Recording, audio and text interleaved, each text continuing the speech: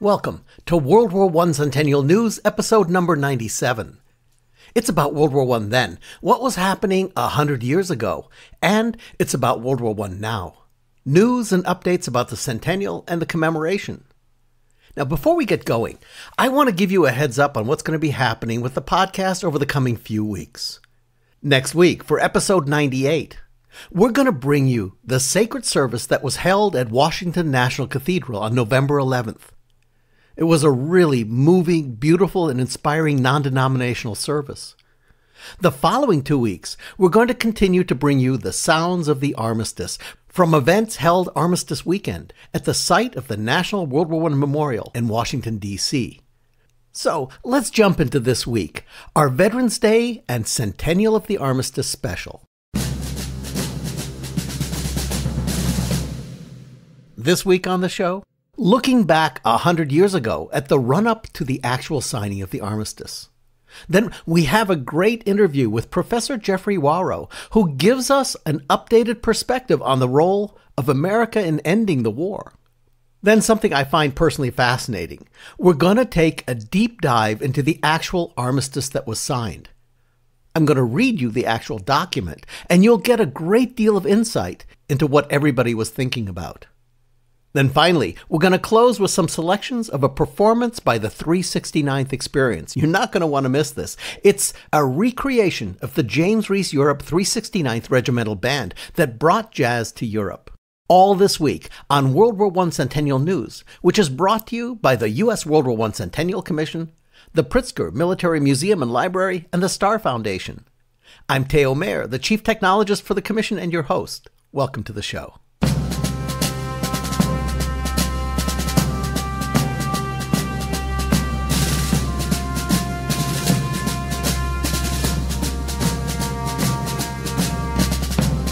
We're going to jump into the Centennial Time Machine and head back to the first two weeks of November 1918 and trace the events as they lead to an actual signing of an armistice.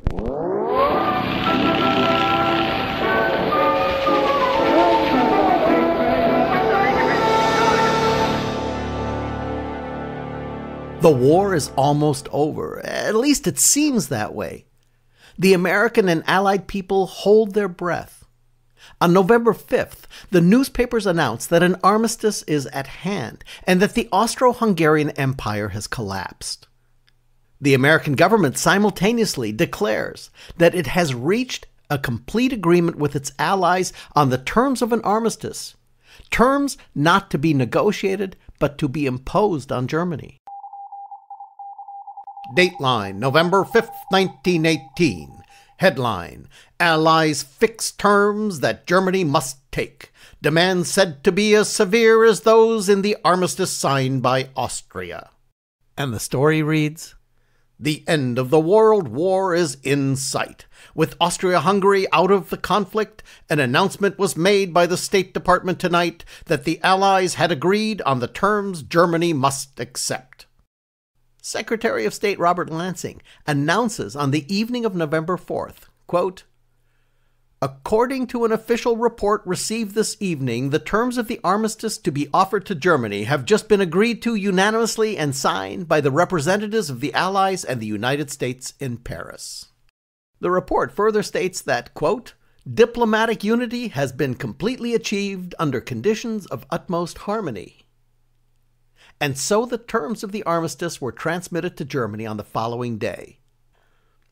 Now, ironically, that's the same day that the New York Times announced the results of the national election in America. Despite Wilson's appeal for a Democratic Congress, the people had given him the opposite a result in which both the Senate and the House were controlled by a narrow Republican majority. Now, the German army is rapidly crumbling and internal discontent is on the rise. This time, Germany does not hesitate. Immediately after receiving the Allied demands, the German government dispatches four representatives to the Allied lines on November 6th, specifically empowered to conclude an armistice. As the delegates passed through the lines on November 7th on their way to meet Allied military commander Ferdinand Foch, news arrives that the German fleet had mutinied and had been taken over by the quote, Reds. Now, when false news of an armistice reaches New York City on November 7th, the citizens go crazy.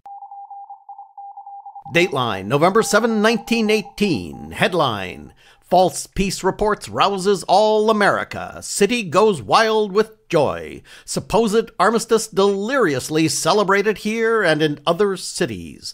Crowds parade in streets. Jubilant throngs reject all denials and tear up newspapers containing those denials. And the story reads when the sirens and whistles and bells rose in a resounding clamor about one o'clock in the afternoon, carrying the news of the supposed signing of the armistice and the cessation of hostilities, men and women of all ages, all stations in every part of the city, with an unspoken accord, suddenly stopped their business and poured into the streets to join through the afternoon in a delirious carnival of joy, which was beyond comparison with anything ever seen in the history of New York. Now, of course, the war was not quite over yet.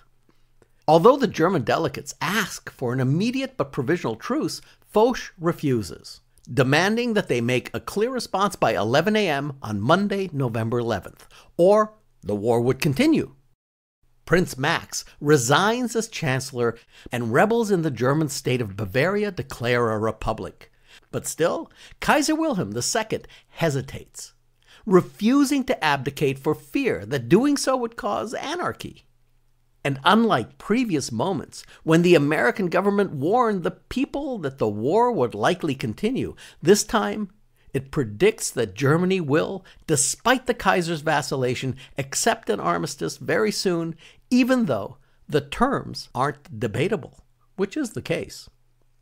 On November 10th, the Kaiser's abdication is announced, along with the new election to choose a democratic government for Germany as demanded by the armistice. Now, Prince Max's farewell is published the same day, admitting that Germany had lost, but resounding notes of defiance are going to continue to resound well into the future.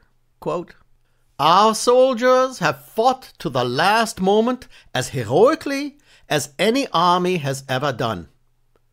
The homeland has shown unprecedented strength in suffering and endurance. In the fifth year, abandoned by its allies, the German people could no longer wage war against the increasingly superior forces. This victory, for which many had hoped, has not been granted to us. But the German people has won a still greater victory over itself and its belief in the right of might. From this victory we shall draw new strength for the hard times which face us and on which you can also build. Now, the announcement came in the early morning of November 11th that the German representatives had signed the armistice and that the fighting would end at 11 a.m. Paris time. Headline Armistice signed. End of the war.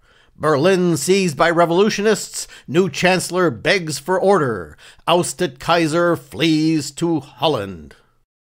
Now, not until the following day, on November 12th, did the newspapers report that the American forces had continued their advance right up to the very last moment, the morning of November 11th.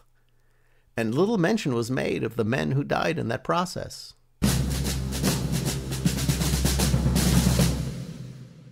There are so many thoughts by various historians about what America's role to ending World War I really was. Now, after all, America didn't enter the war until April of 1917, and at that time it had a microscopic standing army. You could say it had 180,000 if you stretch it with all the militias. It had no war industrial base, no large scale international war experience, and it took until late spring of 1918 for Americans to actually substantially engage in the fight. How did that, in just a few short months, bend the needle in achieving an end to this massive global conflict? Our next guest asked that question and has drawn his conclusions, which he's here to share with us today on this centennial of the armistice. Professor Geoffrey Wawro is the director of the Military History Center at the University of North Texas and author of a number of books, his most recent being Sons of Freedom The Forgotten American Soldiers Who Defeated Germany in World War I. Professor Wawro, welcome to this special edition of the podcast. Thank you. Good to be here. So, Professor, the title of your book reminds us about how far we've come. Why do you think that America blanked out this incredibly important event that literally transformed the nation? Well, I think it was many things. I think we came back and there was a sense, given all the turbulence surrounding the Paris Peace Conference and the Treaty of Versailles and the Senate's failure to ratify the treaty and the League of Nations covenant, there was a great sense that the war had been about nothing the, the Germans were beaten, that we slayed the beast of Prussian militarism, as Woodrow Wilson said, but then we didn't arrange a peace that would ensure long term peace and security. So there was a sense that Americans had done their best, but the Europeans had mucked it up by reverting back to old balance of power politics and inviting a new outbreak of violence. So there was a sense of just futility about it all. And then, of course, you had the roaring 20s intervening, you know, the rise of consumer culture, materialism, and then quickly the Wall Street crash and the Depression intervene, which shifts attention entirely to the home front. And then you have the outbreak of the Second World War, which is even bigger in scale. And then the achievement there is actually monumental. And then it becomes sort of the great American fixation. And through this combination of things, the retreat from Europe, isolationism, the Great Depression, and then the outbreak of World War II, World War I is entirely forgotten. And yet the argument I make in the book is that the American intervention in World War I was absolutely critical. Without it, you likely have a victory by the Central Powers and a completely different Europe in 1919 than you would have had otherwise. And one of the most compelling things about your book is the position that it really unambiguously takes that without America coming into the conflict, Germany would have absolutely won the war. So I'd like to frame two questions on that subject. And I appreciate that short answers on this are going to be really hard for you. But one, why do you hold the position that America's participation was essential to winning the war? And the follow up question, what is the counter argument and who holds it? So let's start with the first question. How did we bend the winning curve? Well, that's a great question. And essentially, I began this project with standard accounts of 1918 in mind, that the war was won by this 100 days offensive led by the British and the French, and that the Americans fought a relatively late and peripheral campaign in the Marne salient, Saint Mihiel, and then the Meuse-Argonne offensive. And the way that the American effort has been portrayed in history is generally Americans will write books about the Meuse-Argonne, Europeans will write books about the 100 days, just kind of referring casually to the American effort as being helpful but not decisive. And the American books will talk about the Meuse-Argonne as being gritty and courageous and everything else, but they won't really relate it to the overall Allied campaign. So that's what I set out to do is contextualize the American participation, put it into the context of the broader Allied participation. And what became clear to me as I worked through not only American, but British, French, German, and Austrian archives was absolutely just how decisive the American intervention was. If you look at the situation with the Allies, they are really flagging. The French are literally out of men. They've lost 3 million casualties between 1914 and 1917. They have no more young men available as reserves. They've all been used. They're all in the front lines. They're entirely relying on the roughly 200,000 teenagers they draft every year, boys who become eligible for the draft. The British do have reserves, but they won't use them because the Lloyd George government is so upset with Haig over his massive casualties half a million men at the Somme, 400,000 men at Passchendaele. He'll lose another half a million in the course of 1918. And Lloyd George just doesn't want to steer any more troops to Haig because he realizes that Haig will waste them in these offensives against hardened German positions. And so if you subtract the Americans from 1918, the Allies simply don't win. They were nearly beaten in Ludendorff's spring offensives of 1918, British nearly driven into the sea in the course of Operations Michael and Georgette, the French nearly broken by Operation Blucher. The Americans are able to hold long sections of the Western Front, freeing up reserves for the Allies to use in backstopping against those defenses. But then when it comes to actually clearing the Germans out of occupied France and Belgium, the American contribution is absolutely vital. And, and, what I argue in the book is that if the Americans don't push in the Meuse Argonne, if they don't push up to the city of Sedan and take that vital rail junction, which essentially traps the German army in France and Belgium, doesn't allow them to advance or retreat, doesn't allow them to supply themselves, they don't take that vital road and rail hub, then the war goes on. The Germans shelter behind the Meuse, continue to inflict casualties on the British and the French, and eventually arrange a negotiated peace in which they keep Alsace-Lorraine, in which they keep much of occupied France and Belgium, and the balance of power tips forcefully in Germany's direction. And as for the counter argument, well, you don't have to look far for those. A lot of people will say, look at the number of French and British casualties in this war.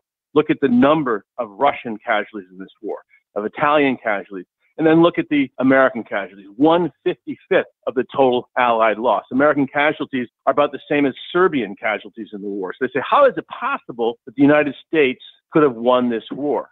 And the point is, is that as sad as it is, you know, casualties don't bring victory. The fact that the French wasted so many men in hopeless offensives early in the war before they finally revert to a more defensive style of fighting the fact that the British, under Haig's leadership, embark on these really harebrained offensives into German positions and waste so many men that they essentially make it impossible to go on and win the war. Somebody had to come in and win the war, and that's the American. And so by just adding up Allied casualties and saying, hey, look what we did compared to what you did, that doesn't explain the actual victory how it was achieved. And I argue, and I think very persuasively in the book, using real evidence from the archives of all of the Allied powers and the Central powers, that it's the American blow that brings victory. Well, Professor Wawro, thank you for coming onto the podcast on this most auspicious of weeks, the centennial of the armistice. Well, thank you. I appreciate having me on. We do have a quick question of time from the audience. Yeah. Coming again from Bill Betton, he says that he agrees with you that, as you say, the European nations mucked up the end of the war. But outside of General Pershing, who was disappointed in the armistice, how aware do you think the average American was to this right after the war? Did it take time for the average citizen to come to that realization? There's a lot of partisan wrangling about the end of the war. Newspapers in America at the time had a definite political affiliation. You had Democratic papers, you had Republican papers, you had independent papers. And if you look at them all, how they look at the end of the war, the Democratic papers are outraged that the decision makers will not consecrate the victory with Wilson's peace. The Treaty of Versailles, the Treaty of Guarantee, guaranteeing the eastern border of France in collaboration with the British, and the League of Nations Covenant. The Republican papers see the League of Nations Covenant as being an attack on American sovereignty, on congressional war powers. They see it as too much, and they're willing to go along with the Treaty of Versailles, but they want to either strip away the League or they want to temper the League with carve outs for things like the Monroe Doctrine for Senate war powers and that sort of thing. Wilson says, no, the Senate has to take its medicine. Independent papers kind of in between. They have the sense that an opportunity has been missed here to create a post war order that will be conducive to American interests. So your average American, I get the sense, tracks alongside these newspapers. If you're a Democrat, you think that Wilson has been done dirty by the Republican Senate. If you're a Republican, you think we need to avoid these foreign entanglements. And if you're an independent, you sort of drift somewhere in between. Fantastic answer, and feels like you're talking about today. Yeah, exactly. Not too different. Professor Geoffrey Wawro is the director of the Military History Center at the University of North Texas and author of Sons of Freedom The Forgotten American Soldiers Who Defeated Germany in World War I. Links to his books are in the podcast notes. With that, we're going to start our reading of what was actually and exactly agreed to. What did the armistice actually say, and who signed it? Of course, you probably already know that the armistice controlled relationships between the contracting parties until the signing of a treaty of peace at Versailles, June 28, 1919. Now, what you may not know, and what was footnoted on my copy of the armistice document, is that the United States never became a party to that treaty of peace but signed a different treaty establishing friendly relationships with Germany at Berlin on August 25, 1921. There's a lot to unpack in the coming months. Now, here we go with a translation of the original armistice document provided to us by one of our historians. Title Terms of armistice with Germany, November 11, 1918. Between Marshal Foch, Commander in Chief of the Allied armies, acting in the name of the Allied and associated powers, and with Admiral Wemyss, First Sea Lord on the one hand, Herr Erzberger, Secretary of State, President of the German delegation, Count von Oberndorff, Envoy Extraordinary and Minister Plenipotentiary, Major General von Winterfeldt, Captain Vanselow, German Navy, duly empowered and acting with the concurrence of the German Chancellor, on the other hand. An armistice has been concluded on the following conditions A. Clauses related to the Western Front. 1. Cessation of hostilities by land and in the air six hours after the signing of this armistice. 2 immediate evacuation of the invaded countries, Belgium, France, Luxembourg, as well as Alsace Lorraine, so ordered as to be completed within 15 days of the signature of the armistice. German troops which have not left the above mentioned territories within the period fixed shall be made prisoners of war. Occupation by the Allied and the United States forces jointly shall keep pace with the evacuation in these areas. All movements of evacuation and occupation shall be regulated in accordance with a note, Annex Number 1, determined at the time of the signing of the armistice. 3. Repatriation, beginning at once, to be completed within 15 days, of all inhabitants of the countries above enumerated, including hostages, persons under trial, or condemned. 4 surrender in good condition by the German armies of the following equipment 5,000 guns, 2,500 heavy, 2,500 field, 25,000 machine guns, 3,000 trench mortars, 1,700 airplanes, fighters, bombers, all D 7s, and night bombing machines. The above to be delivered in situ to the Allied and United States troops in accordance with the detailed conditions laid down in the note, Annex Number 1, determined at the time of the signing of the armistice. 5. Evacuation by the German armies of the districts of the left bank of the Rhine.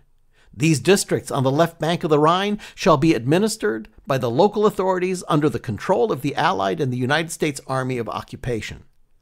The occupation of these territories by Allied and United States troops shall be assured by garrisons holding the principal crossings at the Rhine at Mainz, Koblenz, and Cologne, together with the bridgeheads at these points of a 30 kilometer, about 19 mile radius on the right bank, and by garrisons similarly holding strategic points of the area. A neutral zone shall be reserved on the right bank of the Rhine, between the river and a line drawn parallel to the bridgeheads and to the river at about six miles distance from them, between the Dutch frontier and the Swiss frontier. The evacuation by the enemy of the Rhine district's right and left banks shall be so ordered as to be completed within a further period of 16 days in all 31 days after the signing of the armistice. All movements of evacuation and occupation shall be regulated according to the note, Annex Number 1, determined at the time of the signing of the armistice. 6. In all territories evacuated by the enemy, evacuation of the inhabitants shall be forbidden. No damage nor harm shall be done to the persons or the property of the inhabitants. No person shall be prosecuted for having taken part in any military measure previously to the signing of the armistice. No destruction of any kind to be committed. Military establishment of all kinds shall be delivered intact, as well as military stores, food, munitions, and equipment, which shall not have been removed during the period fixed for evacuation. Stores of food of all kind for civilian population, especially including cattle and so forth, shall be left in situ. No measure of a general character shall be taken, and no official order shall be given, which would have as a consequence the depreciation of industrial establishments or a reduction of their personnel. 7. Roads and means of communication of every kind, railroads, waterways, roads, bridges, telegraphs, telephones shall be in no manner impaired.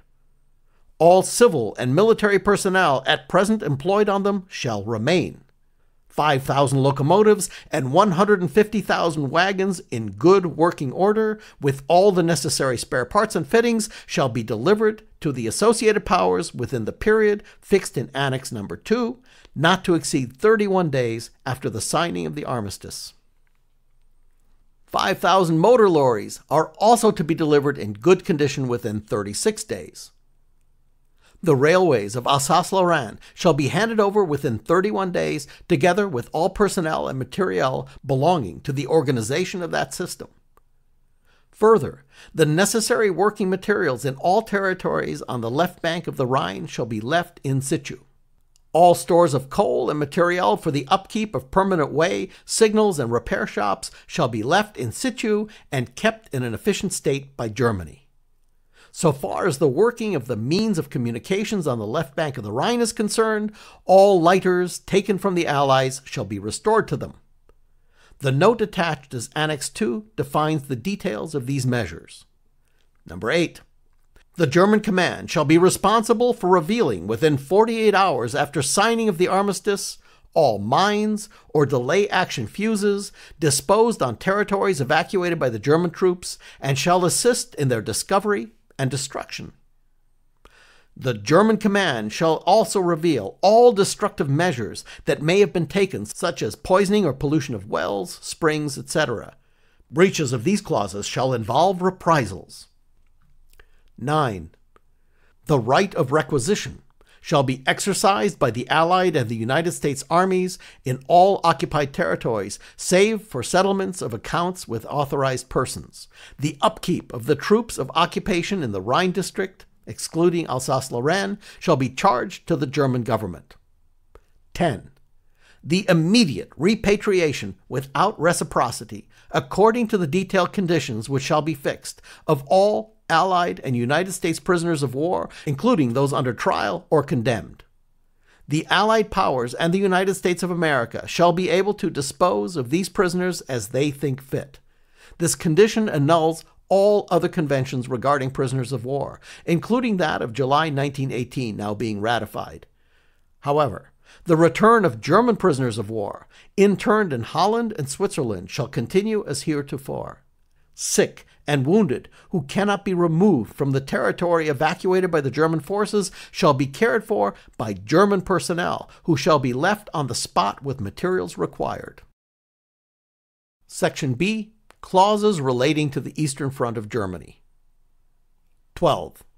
All German troops at present in any territory which before the war formed a part of Austria Hungary, Romania, or Turkey shall withdraw within those frontiers of Germany as they existed on August 1, 1914, and all German troops at present in territories which before the war formed a part of Russia must likewise return to within the frontiers of Germany as above identified, as soon as the Allies shall think the moment suitable, having regards to the internal situation of these territories. 13 evacuation of German troops to begin at once, and all German instructors, prisoners, and agents, civilians as well as military, now in the territory of Russia. Frontiers as defined on August 1, 1914, to be recalled. 14. German troops to cease at once all requisitions and seizures and other coercive measures with a view to obtaining supplies intended for Germany in Romania and Russia. Frontiers defined as August 1, 1914. 15. Annulment of the treaties of Bucharest and Brest-Litovsk and the supplementary treaties. 16. The Allies shall have free access to the territories evacuated by the Germans on their eastern frontier, either through Danzig or by the Vistula, in order to convey supplies to the population of these territories or for the purpose of maintaining order. Section C Clauses relating to East Africa. 17. Evacuation of all German forces operating in East Africa within a period specified by the Allies. Section D Financial Clauses. 18. With the reservation that any subsequent concessions and claims by the Allies in the United States remain unaffected, the following financial conditions are imposed. 19 reparation for damage done. While the armistice lasts, no public securities shall be removed by the enemy which can serve as a pledge to the Allies to cover reparations of war losses.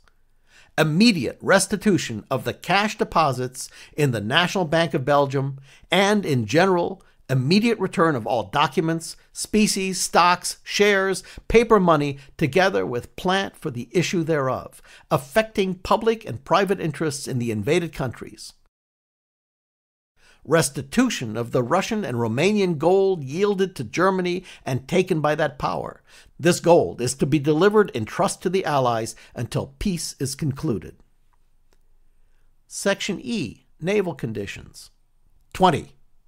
Immediate cessation of all hostilities at sea, and definite information to be given as to the position and movement of all German ships. Notification to be given to neutrals that freedom of navigation in all territorial waters is given to the navies and mercantile marines of the Allied and associated powers, all questions of neutrality being waived. 22.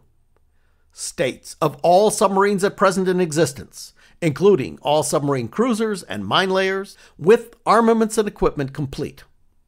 Those that cannot put to sea shall be deprived of armaments and equipment and shall remain under the supervision of Allied and United States forces. Submarines ready to put to sea shall be prepared to leave German ports immediately on receipt of a wireless order to sail to the port of surrender, the remainder to follow as early as possible. The conditions of this article shall be completed within 14 days of the signing of the armistice. 23. The following German surface ships, which shall be designated by the Allies and the United States of America, shall forthwith be disarmed and hereafter interned in neutral ports, or, failing them, Allied ports to be designated by the Allies and the United States of America and placed under the surveillance of the Allies and the United States of America. Only care and maintenance parties being left on board, namely, six battle cruisers, 10 battleships, 8 light cruisers, including two mine layers, 50 destroyers of the most modern type. All other surface warships, including rivercraft, are to be concentrated in Germany naval bases, to be designated by the Allies and the United States of America, completely disarmed, and placed under the supervision of the Allies and the United States of America. All vessels of the auxiliary fleet are to be disarmed. All vessels specified for internment shall be ready to leave German ports seven days after the signing of the armistice. Directions for the voyage shall be given by wireless. 24. The Allies and the United States of America shall have the right to sweep up all minefields and destroy all obstructions laid by Germany outside German territorial waters, and the positions of these are to be indicated. 25 freedom of access to and from the Baltic to be given to the natives of the mercantile marine and allied associated powers. This to be secured by the occupation of all German forts, fortifications, batteries, and defense works of all kinds in the routes to the Kattegat and the Baltic, and by sweeping up the destruction of all mines and obstructions within and without German territorial waters without any question of neutrality being raised by Germany, and the position of such mines and obstructions to be indicated, and the plans relating thereto to be supplied. 26. The existing blockade conditions set up by the Allied and associated powers are to remain unchanged, and all German merchant ships found at sea are to remain liable to capture. The Allies and the United States contemplate the provisioning of Germany during the armistice as shall be found necessary. 27 all aerial forces to be concentrated and immobilized in German bases to be specified by the Allies and the United States. 28. In evacuating the Belgian coast and the ports of Germany, they shall abandon in situ and intact the port materials and materials for inland waterways. Also, all merchant ships, tugs, lighters, all naval craft and air materials and stores, all arms and armaments, and all stores and apparatus of all kinds. 29. All Black Sea ports are to be evacuated by Germany. All Russian warships of all descriptions seized by Germany in the Black Sea are to be handed over to the Allies in the United States of America. All neutral merchant ships seized in the Black Sea are to be released. All warlike and other materials of all kinds seized in those ports are to be returned, and German materials as specified in Clause 28 are to be abandoned. 30 all merchant ships at present in German hands belonging to the Allied and associated powers are to be restored to the ports specified by the Allies and the United States of America without reciprocity. 31. No destruction of ships or of material are to be permitted before the evacuation, surrender, and restoration. 32. The German government shall formally notify all the neutral governments, and in particular the governments of Norway, Sweden, Denmark, and Holland that all restrictions placed on the trading of their vessels with allied and associated countries, whether by the German government or by private German interests, or whether in return for specific concessions, such as the export of shipbuilding materials or not, are immediately cancelled. 33. No transfer of German merchant shipping of any description to any neutral flag are to take place after signature of the armistice. Final section F. Duration of the armistice. 34. The duration of the armistice is to be 36 days, with options to extend. During this period, on failure of execution of any of the above clauses, the armistice may be repudiated by one of the contracting parties on 48 hours previous notice. It's understood that failure to execute Articles 3 and 18 completely in the period specified is not to give reason for repudiation of the armistice, save where such failure is due to malice and aforethought. To ensure the execution of the present convention under the most favorable conditions, the principle of a permanent international armistice commission is recognized. This commission shall act under the supreme authority of the High Command, military and naval of the Allied armies. This present armistice is signed on the 11th day of November 1918 at 5 o'clock a.m. French time.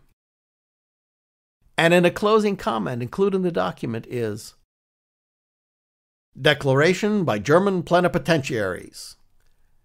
The German government will naturally endeavor, with all its powers, to take care that the duties imposed upon it shall be carried out. The undersigned plenipotentiaries recognize that in certain points, regard has been paid to their suggestions. They can therefore regard the comments made on November 9th on the conditions of the armistice with Germany and the answers handed to them on November 10th as an essential condition to the whole agreement. They must, however, allow no doubt to exist that the point that in particularly the short time allowed for evacuation, as well as the surrender of indispensable means of transport, threatens to bring about a state of things which, without its being the fault of the German government and the German people, may render impossible to further fulfill the conditions. The undersigned plenipotentiaries further regard it as their duty, with reference to their repeated oral and written declarations, once more to point out, with all possible emphasis, that the carrying out of this agreement must throw the German people into anarchy and famine. According to the declaration which precedes the armistice, conditions were to be expected which, while completely ensuring the military situation of our opponents, would have ended the suffering of women and children who took no part in the war. The German people, which has held its own for 50 months against a world of enemies, will, in spite of any force that may be brought to bear upon it, preserve its freedom and unity. A people of 70 million suffers but does not die.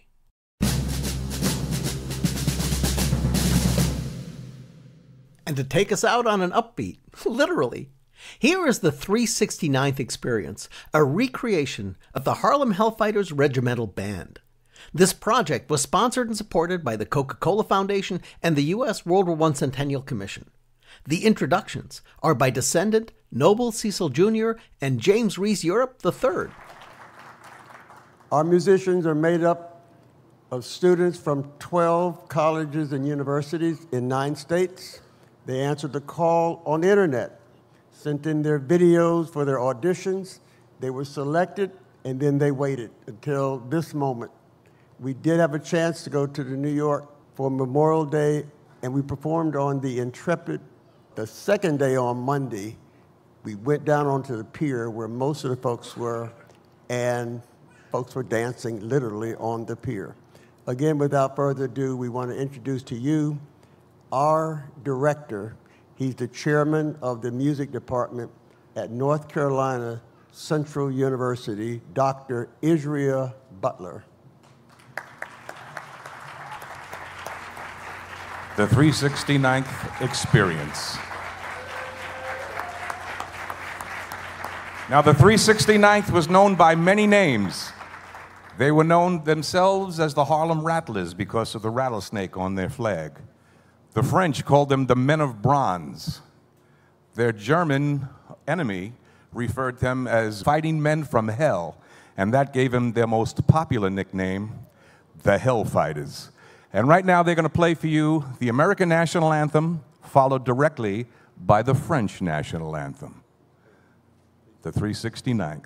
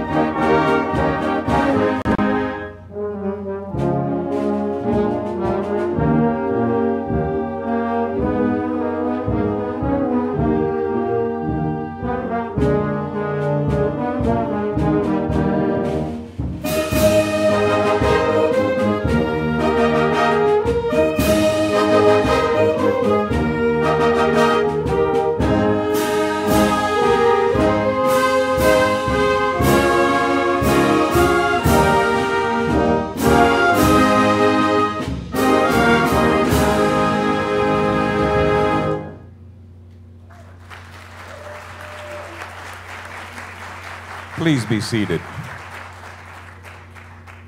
It's New Year's Day, 1918, and the 369th come ashore in France for the very first time, and the very first piece they played was that song, the French national anthem, the Marseillaise. But they played it with such a jazzed up, driven, syncopated melody that it took eight or ten bars for the French to realize that they were playing their own national anthem. At that time, everyone rose real quick. The soldiers snapped to attention. And at that point, that was the beginning of France's love affair with jazz.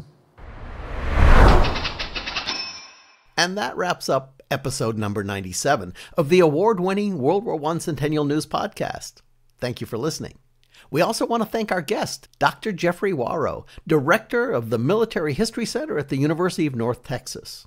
Many thanks to Mac Nelsen and Tim Crowe, our interview editing team, to J. L. Michaud for his research, to Rachel Hurt, our fall intern, to Dr. Edward Lengel for his research and writing contributions, to Katherine Akey, the line producer and co writer for the show. And I'm Theo Mayer, your producer and host.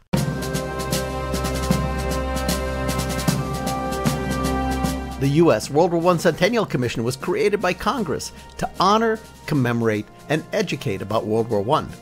Our programs are to inspire a national conversation and awareness about World War I, including this podcast. We're bringing the lessons of 100 years ago to today's educators and to their classrooms. We're helping to restore World War I memorials in communities of all sizes across the country. And of course, we're building America's National World War I Memorial in Washington, D.C. We want to thank the Commission's founding sponsor, the Pritzker Military Museum and Library, as well as the Starr Foundation for their support. The podcast and a full transcription of the show can be found on our website at ww1cc.org/cn. You'll find World War I Centennial News in all the places you get your podcasts, and even using your smart speaker by saying, Play WW1 Centennial News Podcast. The podcast Twitter handle is at the WW1 Podcast. The Commission's Twitter and Instagram handles are both at WW1CC, and we're on Facebook at WW1 Centennial. Thank you for joining us, and don't forget to share the stories that you're hearing here today about the war that changed the world.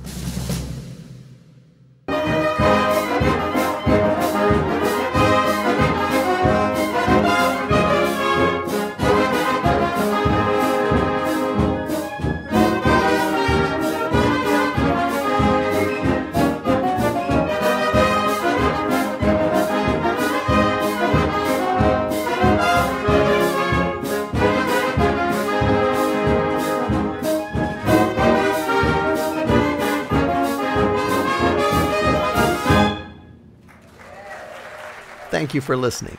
So long.